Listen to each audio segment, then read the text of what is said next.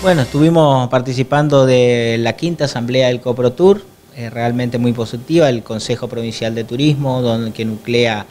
el Ministerio de Turismo, eh, todas las, las, organizaciones de turismo de los municipios, los entes turísticos, las direcciones de turismo municipales y también el sector privado. Así que toda la provincia estuvo junta debatiendo en Oberá, presentando propuestas, trabajo en conjunto, estamos divididos por zonas. Nosotros la zona norte bueno, tiene como el principal representante Iguazú y nos ofrecimos a, a colaborar con las otras zonas para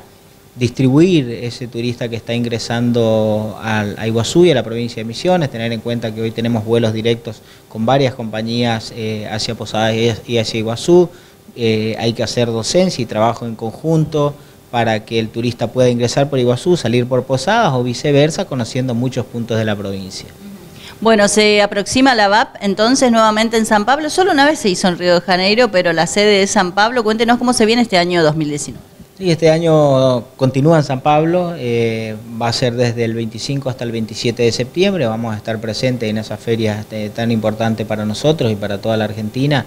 Eh, hoy el público brasileño en el regional, que son los países limítrofes, es el mayoritario en, visitas al Parque Nacional, está creciendo también su visitación a, Puerto Iguazú, se están alojando en Puerto Iguazú, vienen a comprar, vienen a disfrutar de nuestra gastronomía, así que estaremos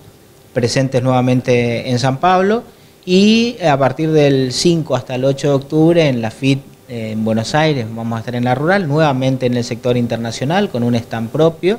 el, estilo de siempre, de llevar lo verde, el agua, la flora, la fauna, de que el turista cuando pase por, por, el, por la FIT, por el stand, pueda sentir que está dentro de Iguazú, así que invitamos a todos los que quieren venir en esas fechas a la rural eh, que lo hagan, que vengan a acompañarnos, vamos a, realizar diversas presentaciones con el sector privado, vamos a, realizar diversas presentaciones con, y degustaciones de yerba mate, de productos típicos como ser el yacaratiá, el dulce de yacaratiá, eso llama mucho la atención y hace que la gente cuando pasa por, por esa por el sector internacional llega al stand de Iguazú. Y en este sentido agradecerle al ministro de Turismo José María Rúa que nuevamente nos cedió el, el, el piso, los 88 metros, para que nosotros podamos construir y representar Iguazú en la FIT.